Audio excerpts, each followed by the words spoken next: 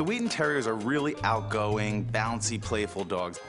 Known for their spunk and lightheartedness, their fluffy coat and terrier build say it all. Let's say it's a guy and a girl who's getting the dog. The girl can feel like she's gotten herself the fluffy, cute dog, but the guy can feel like he's gotten a dog that's manly enough. While certainly the neighborhood jester, they do have energy and it needs to be released. It's a dog that is extremely high energy, very, very bouncy. Originally the beloved dog of Ireland, Wheatens were the working dog of the working class. Forbidden to own hounds, the common people put the terriers to work. They're originally bred to be farm dogs, used for herding, hunting small vermin. The Wheaten joins the Kerry Blue, the Irish, and the Glen of Imaal as the fourth terrier of Irish descent. The modern Wheaten is medium-sized with long terrier legs. Of course, if you get a Wheaten as a pup, the name can be deceiving. This is because Wheatens are born a rusty brown. It's only as they outgrow their puppy stage that their hair turns that gorgeous Wheaten blonde. And as this happens, they develop this soft, luscious coat.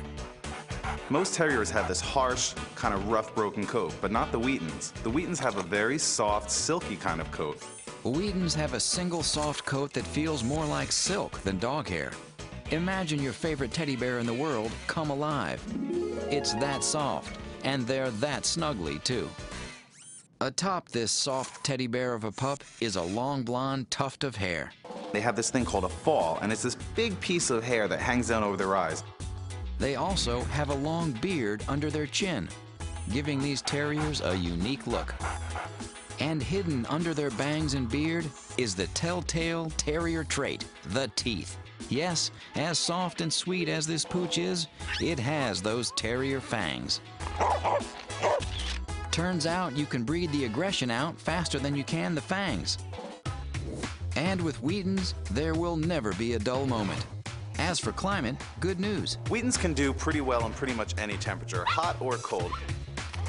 However, this gorgeous silky soft coat comes at a price. Wheatens require a tremendous amount of grooming. Wheatens shed very little, so you have to brush the hair out daily.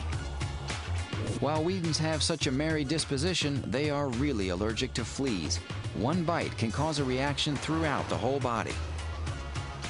Another potential problem is protein wasting. They can't digest the proteins properly, and they actually start to lose weight. But when it comes to training, Wheatens shine. They really like to play and interact with people. So if you're using play training and reward-based training, then they're pretty easy to train. Now, while you should never leave a dog alone with small children, If you have kids and you want the kids to occupy their time for a while, put them in the backyard with the Wheaten. They'll play for hours. so the Wheaten. As long as you keep the Wheaten well walked, they'll be good in any climate. Their flea allergy can be tedious. They need daily brushing. Put in the training time early. But they're really good with families. These soft, cuddly, animated fur balls are as fun as they are adorable. Play with them every day and they never lose their magnetic puppy spirit.